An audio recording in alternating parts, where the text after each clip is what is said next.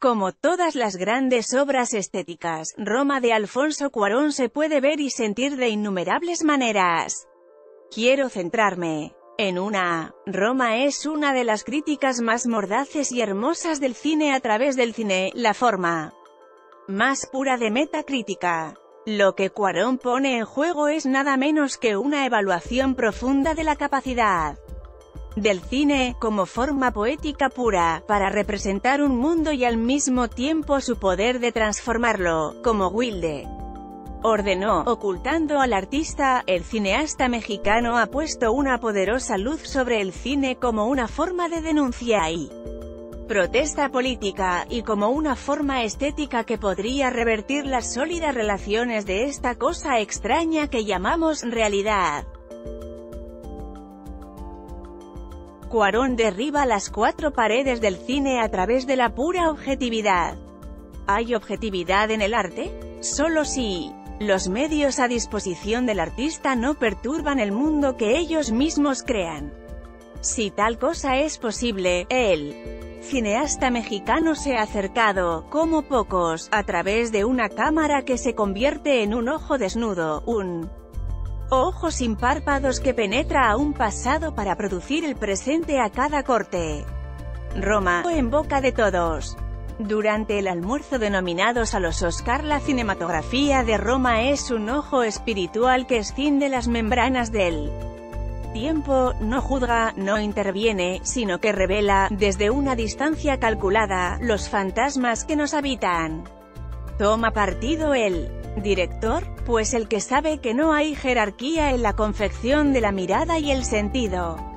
Esta técnica, que involucra un estilo que podríamos identificar como fenomenológico, convierte a Roma en un homenaje y al mismo tiempo un juicio crucial de los valores estéticos y políticos del cine.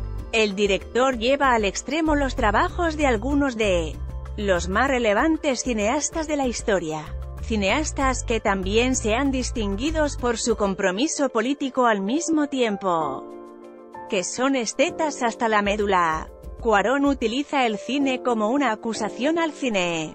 Utiliza el cine como un vehículo para que el cine muestre sus límites ínsitos como forma de arte cuando enfrenta a los abismos de la vida. En su forma más cruda. Cuarón, ¿hasta dónde puedo ver yo? Pregunta y responde qué pasaría si trajésemos escenas y estilos icónicos de Berman, Hitchcock o Fellini a una historia impregnada de tintes raciales y coloniales. Por ejemplo, la escena de Cleo en medio de dolores de parto atrapada en un monumental atasco de tráfico en la Ciudad de México. El día del halconazo creó, proviene de la secuencia del sueño de ocho y un medio de Fellini. Sin embargo, los contrastes hablan volúmenes, expresan mundos adyacentes que son diametralmente opuestos. La escena de Fellini expresa la alienación del hombre blanco urbano moderno. A pesar de su belleza, es solo eso, una alienación que no se desdobla en un mundo fracturado por relaciones muy complicadas de dominación de género, raza, etc. Es simplemente la carga posmoderna del intelectual cuyos demonios palpitan en sus venas culturales. Este tipo de alienación del hombre moderno es solo la punta de un iceberg, o más bien, otro privilegio del hombre blanco, que crea a los monstruos de poder los cuales él denuncia con privilegio estético al flexionar unos músculos lacios que jamás practicaron levantar ningún peso en común. Así, dicha denuncia es una cuenca ciega, es egoísta, cuando no narcisista. ¿Qué sucede cuando Cuarón pone a una mujer indígena en la misma situación en la que Fellini pone el carácter de Mastroianni? El mundo es arrojado al abismo del dolor, penetra instantáneamente y destruye las máquinas de alienación que ahora se perciben como máquinas puras de opresión, no del hombre blanco, sino de lo que el hombre invisibiliza con su alienación y delimita con su privilegio estético.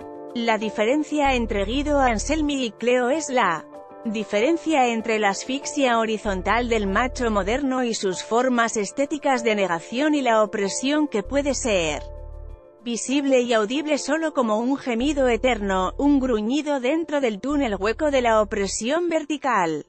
Yalitza Aparicio rechaza este polémico meme lleno de burla. La primera escena de la película es una construcción impecable de la arquitectura del poder, una cámara neutral, que nunca invade, que se desliza con asepsia y que nunca se convierte en un boyerista. Como Hitchcock, Cuarón no quiere desvestir el rubio objeto de deseo de los James Stewart o Cary Grants del mundo. Blanco, no, Cuarón nos lleva de lo invisible a lo visible, inclinándose más hacia Tarkovsky. La luz con la que existe la casa burguesa, morada de la verdad, se ilumina desde un punto invisible, desde un vacío oscuro e impenetrable. Que, sin embargo, la amamanta sin cesar. Esta arquitectura, una hermosa marca de Cuarón, describe atentamente que lo que él privilegio de clase muestra y lo que esconde son partes indivisibles, hechas de la misma sustancia, atadas por el mismo cordón umbilical. La cámara nos proyecta desde los cuartos traseros cuartos de lavado, cuartos de servicio, que son los huesos grises y corroídos de la riqueza de donde se brillan y nutren las maderas finas y los niños blancos. El incendio en la hacienda es similar a muchas escenas que involucran a la clase ociosa de la Dolce Vita de Fellini. Nuevamente, Cuarón nos muestra que al otro lado del espectáculo que los despierta, el fuego, hay una economía entera de pobreza estructural e invisibilidad. Si no fuera por un incendio fortuito para sacarlos de la eterna modorra, bien podría ser una guerra, ya saben, solo para ver el mundo arder en hermosos colores.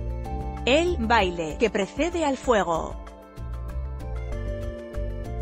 Mejor aún que lo profetiza mediante animales mágicos, es alusivo a Fanny y Alexander de Berman.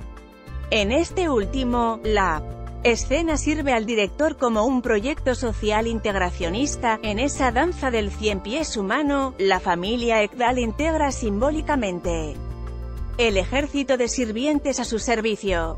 Pero Cuarón le da un giro oscuro, el cien pies danzante se muestra como un macabro ritual de los ricos que observan los pobres. Cleo, sentada en el suelo, con igual curiosidad que con horror, Cicek ha hecho un análisis de la película como un cierto despertar de Cleo como sujeto político. Creo que podemos añadir algo más aquí. La película está hecha de ciclos comienza con un avión reflejado en un piso jabonoso, una ilusión y se cierra con otro avión en el cielo abierto. Sin embargo, hasta donde yo puedo ver, el ciclo pesa no sobre Cleo, sino sobre nosotros, los espectadores, amamos que el simbolismo sea más poderoso que la persistencia vital. De Cleo, celebramos el cierre del ciclo porque Cleo ha vuelto, despierta, a una normalidad estética. A donde ella pertenece. No es más bien que el auténtico sujeto político petrificado y anestesiado, atrapado en la red de la normalidad somos.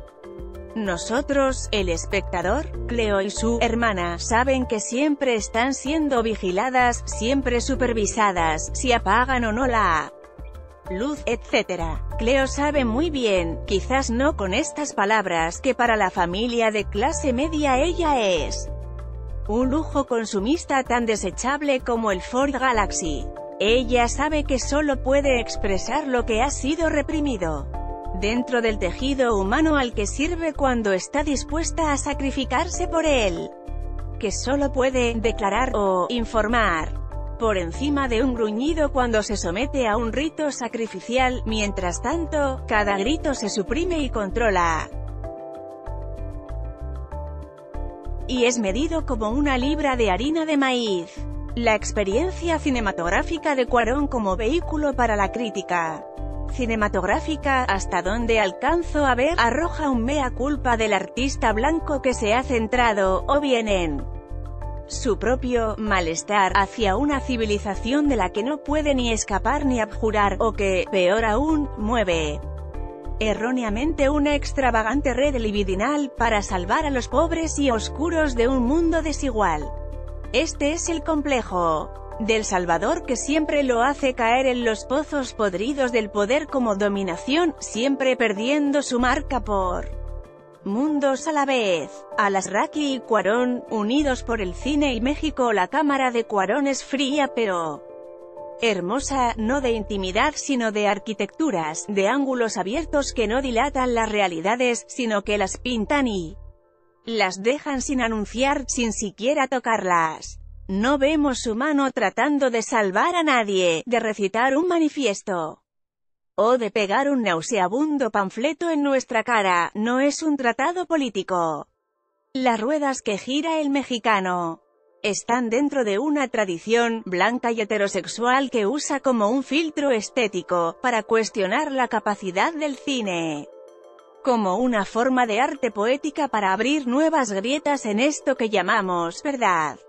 Esa puesta en escena que hace presente el régimen de las sensibilidades, y que anuncia una novedad de la perspectiva se llama ficción, y es el arte de hacer presente lo posible o lo que el simulacro de la verdad hace que parezca imposible. Asterisco profesor visitante del Instituto Tecnológico Autónomo de México, ITAM.